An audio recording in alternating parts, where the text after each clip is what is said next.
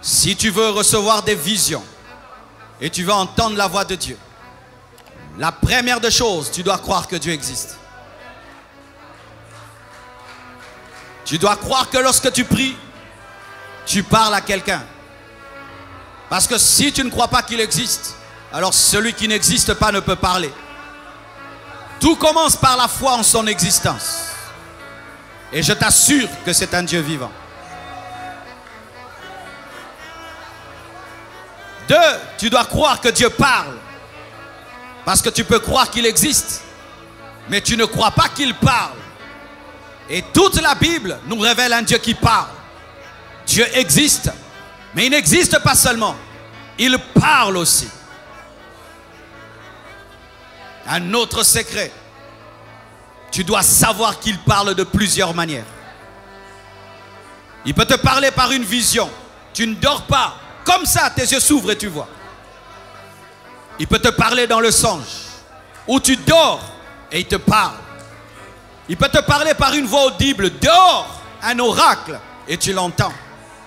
Il peut te parler par une voix, dedans, à l'intérieur de ton esprit. Il peut te parler par une conviction. Tu es seulement convaincu à 200%.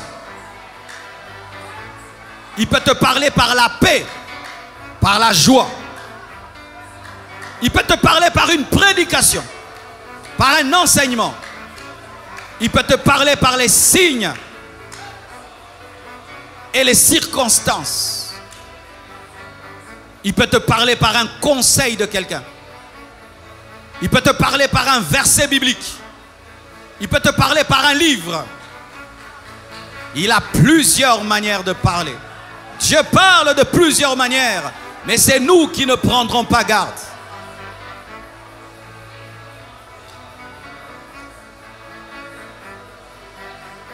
Et aussi, tu dois croire que Dieu veut te parler. Car il y a des gens qui croient que Dieu parle, mais toujours aux autres. Il n'y a pas de chouchou de Dieu. Il n'y a pas de chéri de Dieu. Il n'y a pas d'enfant préféré de Dieu.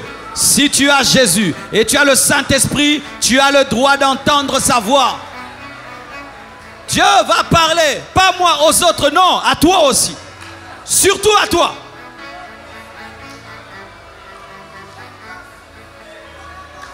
Il faut aussi que tu enlèves la peur.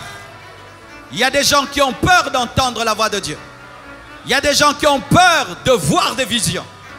Il y a des gens qui ont peur d'avoir des extases, des expériences. N'aie pas peur, c'est ton Père. N'aie pas peur, c'est ton Père.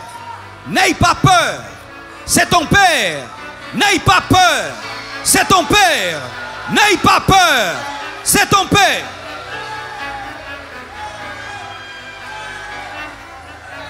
Mon fils n'a pas peur que je lui parle.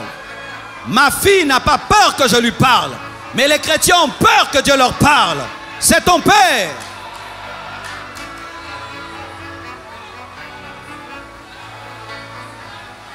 Pour terminer, tu dois désirer ardemment qu'il te parle. Tu dois soupirer après sa voix, soupirer après ses visions. Tu dois désirer ardemment sa direction. Tu dois le vouloir de tout ton cœur. Car Dieu ne se révèle que là où il est désiré. Dieu ne se manifeste que là où il est désiré. Lorsqu'on ne le désire pas, Dieu ne se manifeste pas. Tu dois le désirer de tout ton cœur.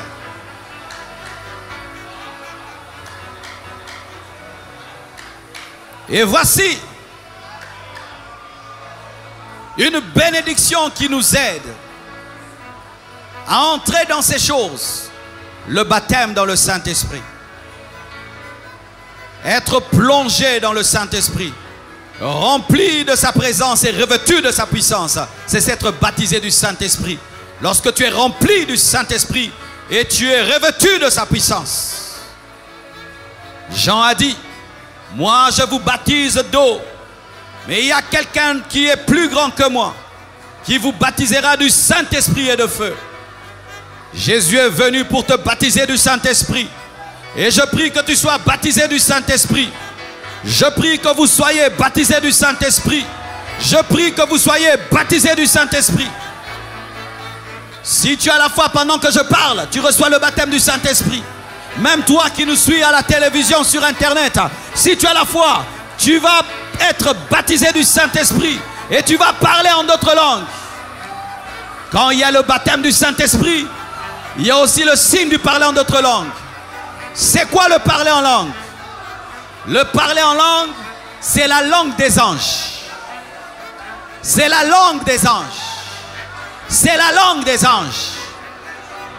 Un homme qui parle la langue, parle la langue des anges. Tu peux parler la langue des anges. Comment ça vient? Comment le parler en langue vient? Le parler en langue vient, tu sens une plénitude, une plénitude, une plénitude, une plénitude, une plénitude, une plénitude, une plénitude, une plénitude, une plénitude. Et cette plénitude commence à contrôler maintenant ta bouche. Ça commence à contrôler ta bouche. Tu ne sais plus parler français, tu ne sais plus parler lingala, tu ne sais plus parler anglais. Ça te dirige dans une langue que tu ne connais pas. Il n'y a pas une école pour parler en langue. Tu dois seulement croire, désirer. Et pendant que tu vas prier, la plénitude du Saint-Esprit va venir en toi. Et tout d'un coup, tu vas commencer à parler une nouvelle langue. Et n'aie pas honte de parler. N'aie pas peur de parler. Quand ça vient, parle. C'est plus que l'anglais. C'est plus que le russe. C'est plus que le français. C'est la meilleure langue de toute la terre. C'est la langue que nous allons parler au ciel. Oui, c'est la langue que nous allons parler au ciel. Michael parle en langue. Gabriel parle en langue. Donc Dieu parle en langue. Qui leur a appris cette langue? La langue du ciel, c'est la langue Parler en langue, c'est ça la langue que nous parlerons. Comment un Congolais, un Chinois vont parler tous? Tous nous parlons la même langue des anges sur la terre et nous parlerons la même langue au ciel. Le parler en langue est un déclencheur des dons spirituels. Le baptême d'eau est un déclencheur du baptême dans le Saint-Esprit. Le baptême d'eau ouvre la porte au baptême du Saint-Esprit. Et le baptême du Saint-Esprit ouvre la porte aux dons spirituels. Regardez dans la parole. C'est vrai, il y a des exceptions. Des personnes qui étaient baptisées du Saint-Esprit avant le baptême d'eau, comme Corneille.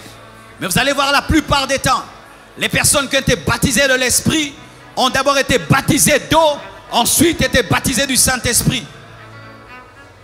Et quand les personnes étaient baptisées du Saint-Esprit, on disait, on les entendait parler en langue et prophétiser.